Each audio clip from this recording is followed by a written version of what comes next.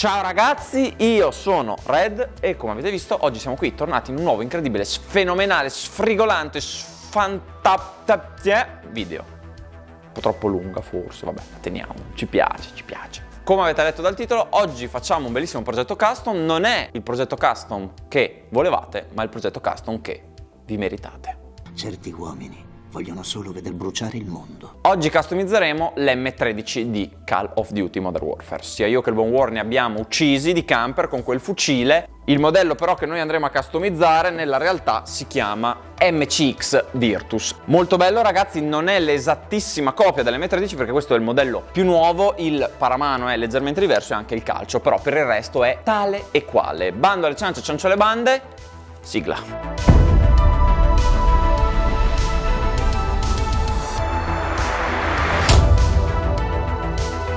Oh Red, ma sai che fai proprio cacare su Kobe?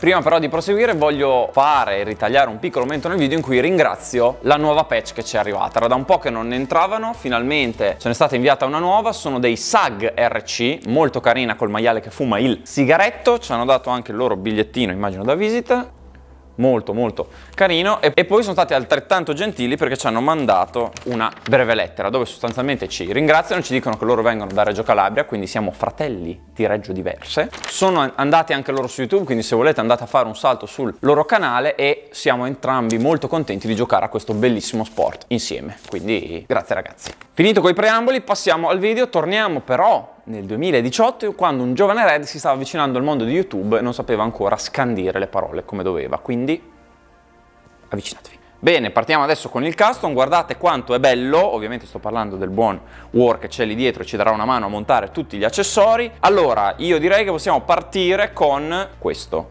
Partiamo con questo grip eh, verticale corto della Element, si attacca direttamente al risco, un attacco M-Lock molto molto carino, è leggermente inclinato, ecco grazie mille, in modo tale che quando poi dopo lo andate a impugnare vi permetta di prenderlo in vari modi e sia più gentile sul vostro polso. Questo è un movimento particolare, guardate quanto interessante. Per semplicità adesso andiamo a smontare tutto quanto il RIS, perché va ovviamente attaccato e avvitato da dentro, noi adesso lo attacchiamo dritto, si può attaccare anche al contrario, quello dipende da, da comodità vostra, c'è e vedo che persone lo fanno, come per esempio Lucas Botkin di T-Rex Arm, se non lo conoscete andate a seguire, è un drago e vedete in questa posizione in modo tale che stiate prendendo sostanzialmente appunto al contrario. Devastante. E guarda come vengono bene le cose con una valletta che fa tutto si avvita ovviamente dall'interno e poi dopo si può andare a reinserire sulla canna. Una volta che avete montato il vostro bellissimo grip angolare non vi resta che chiudere il paramano che si sfila come quello del G36 grazie a questo perno appunto. Visto che siamo già in tema paramano direi che possiamo montare la torcia che vi servirà per illuminare il buio dove si nascondono i camper. Adesso andremo a montare una slitta qui e un'altra invece che propriamente non è una slitta ma la chiamerò slitta lo stesso in modo tale che ci sia appunto l'attacco angolare. A lei il lavoro sporco. Ovviamente dobbiamo andarlo a smontare, alcuni di voi si potrebbero star chiedendo perché lo avete rimontato se poi lo dovete andare a smontare, perché facciamo le cose con attenzione e cura. La slitta che sta montando il buon War ha sempre l'attacco M-Lock, quindi vi basta semplicemente andare ad attaccare, poi dopo con il piedino che c'è all'interno lo andate a bloccare sul RIS. Andiamo a allentare anche l'altra e gliela montiamo per bene sopra. Sposta un attimo la mano, portala a favore di camera, guardate che bel lavoro, come potete vedere questa qui è quella che c'era sotto e questa qua invece è la slitta, che non è propriamente una slitta, che attacchiamo sopra e ci dà la possibilità di avere questo ris angolare. Bene, Adesso che l'abbiamo chiuso possiamo andare a montare sopra quella bellissima nuova slittina che abbiamo montato la torcia. La torcia che andremo a montare è questa bellissima Wasn che in realtà è fatta dalla Eimo, arriva fino a 600 lumen, qui dietro troviamo l'attacco per il remoto, in confezione trovate anche il culo semplicemente con il pulsantino nel caso voi non vogliate montare il remoto ed è già provvista dell'attacco da attaccare appunto sul RIS. Ma Red, ma perché la metti inclinata? Che figo prenderò da McDonald's. Ottimo. Guardate che bellezza incredibile. Bene, come avete notato su questo fucile però manca qualcosa qui e qui, ovvero le tacche di mira. In confezione non ci sono, non è un grosso problema a mio parere, però sono pronto a discuterne nei commenti. Noi ci andremo a mettere queste due bellissime Embas 2 della Magpul, veramente molto carine. Partiamo da quella anteriore che andremo ad attaccare qua, basta proprio infilarla e poi dopo andare a chiuderla e stringerla con la sua vitina. Ottimo, adesso che è montata in questa forma, perfetta, stupenda, bellissima, la andiamo a mettere anche lì dietro. Guarda la precisione, la bellezza. Bene, quindi una volta che abbiamo messo le tacche di mira direi che possiamo terminare questa zona qui. Visto che abbiamo un sistema di illuminazione ma può essere migliorato. Ci andremo a mettere questa replica dell'Ampec di Baldue della Element, molto carino e basta, ce lo andiamo a mettere, guardate, molto simpatico più che altro perché ha una forma leggermente diversa dal vostro solito Ampecchino, ha ovviamente la possibilità di andare a coprire tutte le vostre cose, avete due laser e la torcia, le batterie le mettete dal davanti, mentre sugli altri normalmente le andate a mettere di qua. E mi dicono dalla regia, che non sapevo, che non tiene due batterie come gli Ampec 15 ma ne prende solamente una ottimo. Va ovviamente stretto sul RIS, niente di più semplice visto che ha sempre quegli attacchini lì delle viti. A Brugola avete poi tutte le impostazioni qui dietro, questo qui è un unpack veramente carino perché va un pochino a variare dai soliti unpack 15 come ho già detto già visti. Non andremo a montare un remoto perché ovviamente c'è la possibilità dell'attacco simile a quello tra l'altro della torcia. Comunque non ce lo andremo a mettere perché con questa impugnatura, faccio vedere Valletta gentilmente, è possibile andare a premere direttamente sul tastino che è qui di fianco che questo qua c'è scritto proprio fuoco e vi, lo potete andare a premere in maniera semplice e vi, vi evita di avere 200.000 cavi e robe che passano qui visto che questa zona è già abbastanza affollata. Anche se l'Ampec non ha bisogno di remoto, la torcia invece ce l'ha, quindi andremo ad attaccare grazie a questo bellissimo buchino nel retro mi dissocio, un eh, punto attacco remoto che andrà ad attaccarsi qua sopra in modo tale da poterci arrivare con il pollice. Abbiamo preferito non metterci una slit dove c'era appunto l'incavo per metterci questo affare qui perché sarebbe diventato molto difficile poter prendere il fucile in questa maniera. Così invece è molto minimal, così invece è molto minimal e non abbiamo bisogno di fare dei giri strani con le mani. Vedete? La presa è abbastanza solida e non ci dà nessun tipo di impedimento, sia per accendere l'Ampec che usare la torcia. Ottimo! Quindi adesso andremo a montare un bellissimo porco. Ok, perfetto. Come potete vedere questa cosa mi sta disturbando le e l'altra cosa è che, come sapete, sull'M13D codici si possono mettere i 300 blackout, quindi ci vuole il silenziatore dedicato in modo tale che vi spari i colpi più più. Stiamo parlando di questo silenziatore qui, è della Madbull, Madbull, Madbull, su, licen su licenza, non ce la posso fare oggi, su licenza Gemtech e come vedete scritto lì è 300 BLK, 300 blackout. Molto carino anche il culo del silenziatore, fatto veramente bello e soprattutto da questa parte qua troviamo la ghiera zigrinata per stringere. Molto molto ben fatto. Andiamo quindi a smontare questo spegnifiamma a tre punte, abbastanza iconico di questo fucile, ci andiamo a montare il silenziatore blackout. Ah sì, avvitaglielo tutto.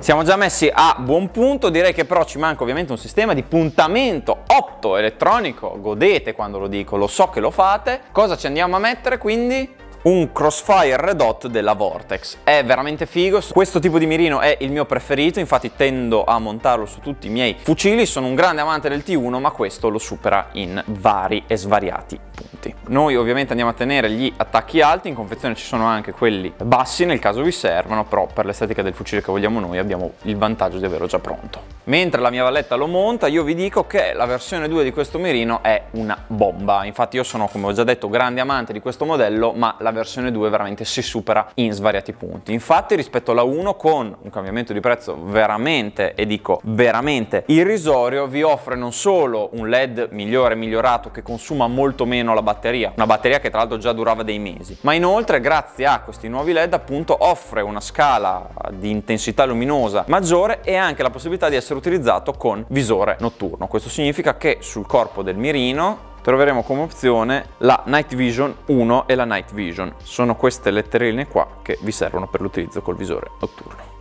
Il fucile è praticamente pronto, direi che abbiamo fatto un gran lavoro se non che manca la parte non più importante però quello per cui l'M13 su COD perlomeno è molto famoso, ovvero il suo caricatore trasparente. Per quelli di voi che ogni tanto mi chiedono che caricatori consiglio, anche se ci abbiamo fatto un video apposta, questa è un'ottima opzione per un caricatore economico monofilare che ha delle features abbastanza interessanti, in quanto oltre ad avere i colpi in trasparenza, quindi anche un pochino di realismo, questo grip dato da questi pallini sul corpo e anche i numeri di quanti colpi tiene, effettivamente possiamo andare a vedere in questa parte qui quanti colpi ci sono rimasti dentro, non in maniera effettivamente precisa, non è a livello delle PM1 della PTS o anche per esempio degli X-Mag, Mustang però comunque offre qualche features interessante ed è un ottimo acquisto anche per variare.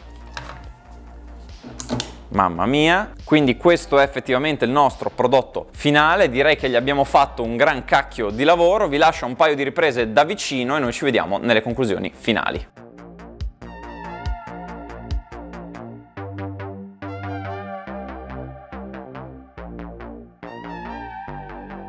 Quindi come avete visto questo è il prodotto finale, mi piace veramente tanto ragazzi, è comodo da utilizzare però soprattutto è stato equipaggiato a dovere, ha un'estetica secondo me molto accattivante adesso come adesso. Io non ho moltissimo da dirvi in quanto ve l'ho commentato mentre lo creavamo per l'appunto, lascio quindi la parola al buon War che come al solito ci darà un paio di sue opinioni croccanti ma soprattutto un pochino salate, un po' arrabbiate su questo fucile, su come l'abbiamo equipaggiato.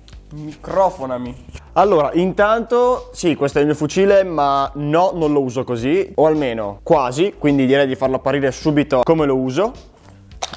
Io lo uso con un sistema di puntamento diverso, questo qui montato sopra l'FC1 replica AIM-O. Il Vortex è spettacolare ma l'ho già su un altro fucile quindi ho voluto cambiare un po' a discapito purtroppo della funzionalità perché questo è una replica, quello è un mirino vero. E il caricatore per quanto mi piace da impazzire, quello lì traslucido con colpi dentro, preferisco per affidabilità e perché questo qua è un fucile equipaggiato con MC3 Plus, avrete un video poi a riguardo, un caricatore che mi stia dietro anche anche ad altissimi ROF e che sia impeccabile in tutto. Adesso, che problemi ha questo fucile? Questo fucile ha solo e soltanto un unico problema, a parte il produttore. la batteria dentro al paramano. Questa cosa mi fa imbestialire perché o la mettete lì e vi si vede dopo perché il paramano cazzo è scheletrato, oppure la mettete nell'ampec e fa che comunque perché sennò dovete togliere lui. Quindi la batteria nel, nel paramano è l'unico problema che si porta dietro altri problemi. Ad esempio in questa configurazione non possiamo sfilare il paramano senza prima sfilare l'attacco del remoto. Questo entra e esce tutto il tempo. Non ho saputo resistere tutto il tempo non gli fa sicuramente bene, per quanto sia un remoto fatto molto molto bene. L'ultimo problema è il silenziatore. Questo silenziatore è 3 mm in totale più largo dell'attaccatura del RIS, quindi sempre per il discorso di prima, quando noi andiamo a sfilare il RIS si blocca qua. Quindi va sfilato, sfilato, eh, va svitato il silenziatore, sfilato il RIS, messa la batteria, rimesso il RIS, riavvitato, ricollegato. È una rottura di cazzo incredibile. Si può ovviare, costa tanto ovviare, ma si può fare mettendo un RIS d'arma vera compatibile col silenziatore subsonico che è un po' più larghetto in, nel terminale, oppure un silenziatore a sgancio rapido, però vaffanculo, io preferisco i loghi della Gemtech con 300 blackout e quindi mi fotto, è buona. Per il resto è un'arma spettacolare, l'hanno definita il nuovo Gucci Rifle, sì, forse sì, perché costa una fucilata, fucile costa una fucilata, e non so bene quale sia il problema per questo prezzo folle. Gli interni sono Avalon, sono spettacolari VFC, i loghi sono fatti da Dio, non c'è mezzo gioco, non c'è mezza sbavatura, sembra l'arma vera, la Sig Sauer lo vende sul suo sito sito ufficiale insieme alle armi vere, ma cazzo, ma 600 euro sono una fucilata, ma che cazzo di prezzo è? È allucinante, mi ci compro quasi un Mario SRE che non mi piacciono. Ecco perché ho comunque questo fucile qua. Bene, siamo arrivati alla conclusione quindi di questo bellissimo video, spero che questa custom vi sia piaciuta, cerchiamo sempre di portarvi contenuti nuovi, quindi vi ricordo di lasciare un mi piace e magari anche un commento. Grazie, da qui continuo io. Ciao ragazzi, sono Red e sto girando questo video nel mio studio di montaggio, ecco perché l'inquadratura fa schifo, lo sfondo fa schifo, la qualità immagine fa schifo e l'audio fa ancora più schifo di tutto. Però vi devo dare delle comunicazioni, quindi mi dispiace ma fatevelo andare bene. Questo video che state vedendo oggi teoricamente sarebbe dovuto uscire sabato scorso. Lo state vedendo oggi perché ci sono stati dei ritardi nella produzione dei due video speciali. Appunto per questo vi ricordo di, schedina qua sopra, andare a guardare il video che è uscito questa domenica dove vi chiedo di fare delle domande. Lì potete approfittarne in modo tale che possiate aggiungere delle domande prima che noi si vada a girare il video. Sbrigatevi perché lo gireremo in questi giorni. Detto ciò vi ringrazio perché siamo ormai sulla soglia di 10.000. Vi ricordo di condividere i nostri video con i vostri amici perché ci aiutate a crescere. Ogni nuovo iscritto è un secondo di video migliorato del nostro canale. Vi ricordo di attivare la campanellina, iscrivervi al canale. Noi ci vediamo mercoledì, no, sabato. Quando cazzo ci vediamo? Noi ci vediamo sabato con un bel pillolone e poi dopo mercoledì e sabato prossimo con la FAC e il video speciale della stanza. Qui da Red è tutto e stay hungry.